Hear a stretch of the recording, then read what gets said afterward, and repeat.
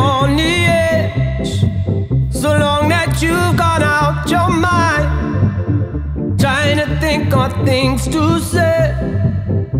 Looks like you've run